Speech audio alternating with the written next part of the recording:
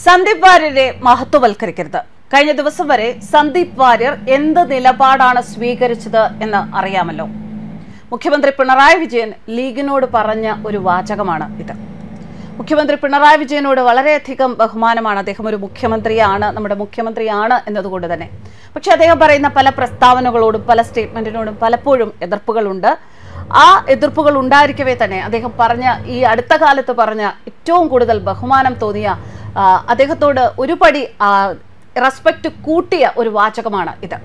ശരിക്കും പറഞ്ഞാൽ ഒരു രാഷ്ട്രീയത്തിൽ വിശ്വസിച്ചുകൊണ്ട് നിന്ന് ആ രാഷ്ട്രീയത്തെ പാടി പുകഴ്ത്തി ഒരു സുപ്രഭാതത്തിൽ അതിൽ നിന്ന് മറുകണ്ഠം ചാടുന്ന ഏതൊരു രാഷ്ട്രീയ പ്രവർത്തകനും ഒരു തിരിച്ചടി തന്നെയാണ്. അല്ലെങ്കിൽ അത്തരക്കാരെ സൂക്ഷിക്കണം എന്നുള്ള മുഖ്യമന്ത്രിയുടെ കൃത്യമായ കാൽക്കുലേഷൻ തന്നെയാണ് സന്ദീപ് വാര്യരെ കുറിച്ച് മുഖ്യമന്ത്രി പറഞ്ഞ ഈ ഡയലോഗ് സന്ദീപ് വാര്യരെ മഹത്വവൽക്കരിക്കരുത്. കഴിഞ്ഞ ദിവസം വരെ അദ്ദേഹം ഉപയോഗിച്ചിരുന്ന അല്ലെങ്കിൽ അദ്ദേഹം പറഞ്ഞിരുന്ന അദ്ദേഹം എടുത്തിരുന്ന നിലപാടുകൾ എന്താണ് എന്നറിയാമല്ലോ. ഒരു പരിധി വരെ സന്ദീപ് വാര്യർ വിശ്വസിച്ചിരുന്ന ആ രാഷ്ട്രീയ പ്രസ്ഥാനവുമായി ചേർന്ന് നിന്ന് പോകുന്ന ഒരു വ്യക്തി എന്ന നിലയ്ക്ക്.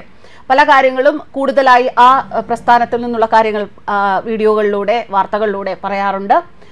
അങ്ങനെയുള്ള ഒരു വ്യക്തി എന്ന നിലയിൽ ആയിട്ട് പോലും സന്ദീപ് വാര്യർക്കെതിരെ. സന്ദീപ് വാര്യർ കഴിഞ്ഞ ദിവസം വരെ സ്വീകരിച്ച ആ നിലപാടിനെതിരെ മുഖ്യമന്ത്രി എടുത്ത ഈ സ്റ്റാൻഡ് വളരെയധികം ബഹുമാനം തോന്നുകയാണ്. സന്ദീപ് വാര്യർ പാണക്കാട് സാദിഖ് അലി ശിഹാബ് തങ്ങളെ കാണാൻ പോയ വാർത്ത. അത് പുറത്തു വന്നിരുന്നു. ആ വാർത്തയാണ് അദ്ദേഹത്തെ ഈ രീതിയിൽ പ്രതികരിക്കാൻ ഇടയാക്കിയിരിക്കുന്നത്. അത് കണ്ടപ്പോൾ പണ്ടത്തെ ഒറ്റപ്പാലത്തെ തെരഞ്ഞെടുപ്പാണ് ഓർമ്മ വന്നത് എന്ന് മുഖ്യമന്ത്രി പറയുന്നു. പാലക്കാട് തെരഞ്ഞെടുപ്പ് പ്രചാരണത്തിൽ സംസാരിക്കുമ്പോഴാണ് മുഖ്യമന്ത്രി ഇങ്ങനെ പറഞ്ഞത്. സന്ദീപ് വാര്യർ പാണക്കാട് സാദിഖ് അലി ശിഹാബ് തങ്ങളെ കാണാൻ പോയ വാർത്ത കണ്ടു. അത് കണ്ടപ്പോൾ പണ്ടത്തെ ഒറ്റപ്പാലത്തെ തിരഞ്ഞെടുപ്പാണ് ഓർമ്മ വന്നത്. ബാബറി മസ്ജിദ് തകർത്ത ശേഷമുള്ള തെരഞ്ഞെടുപ്പായിരുന്നു അത്. ആ തെരഞ്ഞെടുപ്പിൽ ബാബറി മസ്ജിദ് വിഷയം ഉയർന്നു നിന്നിരുന്നു. ബാബറി മസ്ജിദ് തകർത്തത് ആർ എസ് എസിന്റെ നേതൃത്വത്തിലുള്ള സംഘപരിവാർ ആയിരുന്നു. ആ സംഘത്തിന് എല്ലാ സഹായവും ചെയ്തു കൊടുത്തത് അന്നത്തെ കോൺഗ്രസ് പ്രധാനമന്ത്രിയും കോൺഗ്രസ് നേതൃത്വത്തിലുമുള്ള കേന്ദ്ര ഗവൺമെന്റുമായിരുന്നു. സ്വാഭാവികമായും വലിയ പ്രതിഷേധമുണ്ടായി. അന്ന് ശക്തമായ ഒരു വികാരം ഉയർന്നു വന്നു. അതിന് കൂട്ടുനിന്ന കോൺഗ്രസിനും കോൺഗ്രസ് സർക്കാരിനും സർക്കാരിനുമെതിരെയും വികാരം ഉയർന്നു വന്നു.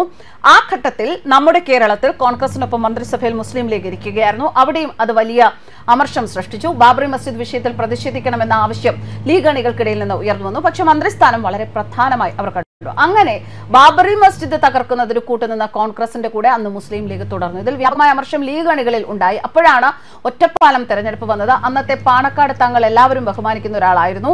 ഇപ്പോഴത്തെ സാദിഖ് അലി ശിഹാബ് തങ്ങളെ പോലെയല്ല. അദ്ദേഹം ലീഗ് അണികളെ തണുപ്പിക്കാനെത്തി. പക്ഷെ തങ്ങളെ കാണാൻ ആരും വന്നില്ല. ലീഗ് അണികൾ ബാബറി മസ്ജിദ് വിഷയത്തിൽ പ്രതിഷേധിച്ചു. ആ പ്രതിഷേധം അന്ന് എന്തിന്റെ ഭാഗമായിരുന്നു? ലീഗിന് ശരിയായ നിലപാട് എടുക്കാൻ കഴിയാത്തത് കൊണ്ടായിരുന്നു കോൺഗ്രസിനോട് കൂടെ നിന്ന് അതിന്റെ ഭാഗമായി കോൺഗ്രസ് കാണിച്ച തെറ്റായ നിലപാട് ലീഗ് എതിർക്കാത്തത് കൊണ്ടാണ് ആ പ്രതിഷേധം നടന്നത്.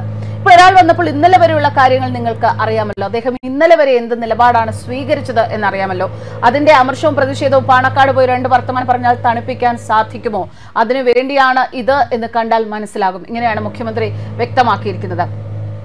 അദ്ദേഹം പറയുന്നത് ബി ജെ പിക്ക് എതിരെയും ബാബറി മസ്ജിദ് തകർത്തതിനെതിരെയും അത്തരം കാര്യങ്ങളാണ് അദ്ദേഹം വിഷയമാക്കിയത് എങ്കിൽ പോലും ഒരു രാഷ്ട്രീയ പ്രസ്ഥാനത്തിൽ വിശ്വസിച്ചുകൊണ്ട് നിന്നുകൊണ്ട് നേരത്തെ പറഞ്ഞതുപോലെ തന്നെ ആ രാഷ്ട്രീയ പ്രസ്ഥാനത്തിലുള്ള വലിയ വലിയ കാര്യങ്ങൾ ആ രാഷ്ട്രീയ പ്രസ്ഥാനത്തിലെ നേതാക്കന്മാരെ പുകഴ്ത്തൽ അവരോട് ചേർന്ന് നിൽക്കൽ അവർക്ക് വേണ്ടി എന്തും ചെയ്യും എന്ന വീമ്പിളക്കൽ അതിനിടയിൽ മറ്റുള്ളവരെ മറ്റ് എതിർ രാഷ്ട്രീയ പ്രസ്ഥാനത്തിൽ നിൽക്കുന്നവരെ കുത്തി നോവിക്കൽ അത്തരം കാര്യങ്ങളൊക്കെ ചെയ്ത് ഒരു സുപ്രഭാതത്തിൽ ഇതുവരെ പുതച്ചുകൊണ്ടിരുന്ന ആ നിറത്തിലുള്ള ഷോൾ മാറ്റി ത്രിവർണം പുതച്ചു കഴിയുമ്പോഴേക്കും താൻ അവരിലേക്ക് പോയി അല്ലെങ്കിൽ എന്റെ നിലപാടുകളെല്ലാം താൻ മാറ്റി എന്ന ഒരു മണിക്കൂറുകൾക്കുള്ളിൽ മാറ്റി പറയുന്ന ഏതൊരു രാഷ്ട്രീയ പ്രവർത്തകനും ഒരു മുന്നറിയിപ്പ് തന്നെയാണ് ഒരു താക്കീത് തന്നെയാണ് മുഖ്യമന്ത്രി പറയുന്നത്.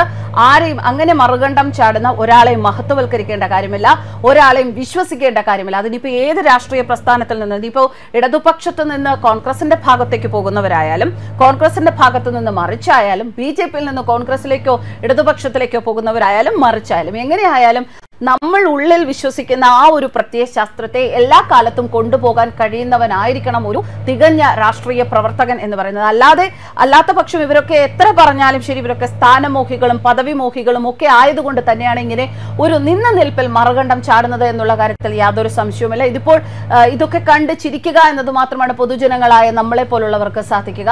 ഇതിന്റെ പിന്നിലുള്ള എല്ലാ കളികളും നമുക്ക് വ്യക്തമായി മനസ്സിലാക്കുമെങ്കിൽ പോലും വേറെ നിവൃത്തിയില്ല. നമുക്കിതൊക്കെ കണ്ട് ആസ്വദിച്ച് ചിരിക്കാൻ ചിരിക്കാൻ ചിരിക്കാൻ മാത്രമേ സാധിക്കൂ. പക്ഷെ അങ്ങനെ വരുമ്പോൾ നാളെ ഒരു സമയത്ത് ഇന്ന് ചാനൽ ചർച്ചകളിൽ ഇരുന്ന് ഇതുപോലെ ഓരോ രാഷ്ട്രീയ പ്രസ്ഥാനത്തെയും അനുകൂലിച്ച് അല്ലെങ്കിൽ ഓരോ രാഷ്ട്രീയ നേതാക്കളെയും അനുകൂലിച്ച് ഒരു ഭരണത്തെ അനുകൂലിച്ച് പറയുന്ന ഒരാൾ നാളെ ഇത് തിരുത്തി പറയുകയാണെങ്കിൽ എന്താണ് ശരിയായ ഒരു രീതി എന്ന ഒരു സംശയം സാധാരണക്കാരായ ജനങ്ങളുടെ ഇടയിൽ വരാനുള്ള ഒരു സാധ്യത അതിലൂടെ നമുക്ക് കാണാൻ സാധിക്കും. പൊളിറ്റിക്സ് എന്ന് പറയുന്നത് രാഷ്ട്രീയം എന്ന് പറയുന്നത് ഏറ്റവും മോശപ്പെട്ട ഒരു മേഖലയാക്കി മാറ്റുന്നതും അതിനെ നന്നാക്കുന്നതും ഇവിടെയുള്ള അതിലൊപ്പം നിൽക്കുന്ന രാഷ്ട്രീയ നേതാക്കളാണ് എന്നുള്ള കാര്യത്തിൽ നമുക്ക് സംശയമില്ല പക്ഷെ അവർക്കൊരു മാന്യത വേണം. അവർക്കൊരു നിലപാട് സ്ഥിരമായ ഒരു നിലപാട് വേണം. അപ്പ കണ്ടവനെ അപ്പ എന്ന് വിളിക്കുന്ന ആ നിലപാടുള്ളവനായിരിക്കരുത് ഒരു രാഷ്ട്രീയക്കാരൻ എന്ന് ഒരിക്കൽ കൂടി സന്ദീപ് വാര്യറിലൂടെ എല്ലാവരും മനസ്സിലാക്കേണ്ടുന്ന ഒരു സാഹചര്യം വന്നിരിക്കുകയാണ്. ഒരിക്കലും സന്ദീപ് വാര്യർ എന്ന വ്യക്തിയിൽ നിന്ന് അങ്ങനെ ഒരു മാറ്റം പ്രതീക്ഷിച്ചില്ല. അദ്ദേഹത്തിന് ഇനി എന്ത് എന്തിന്റെ പേരിലുള്ള പ്രശ്നങ്ങളാണ് ഉണ്ടായെങ്കിൽ പോലും അദ്ദേഹത്തിന് ന്യൂട്രലായിട്ട് നിൽക്കാമായിരുന്നു. ഇത്തരത്തിലൊരു തീരുമാനം സ്വീകരിക്കാൻ പാടില്ലാത്തതായിരുന്നു എന്ന് പറയാൻ പറ്റില്ല. അതൊക്കെ ഓരോരുത്തരുടെ വ്യക്തി സ്വാതന്ത്ര്യമാണ്.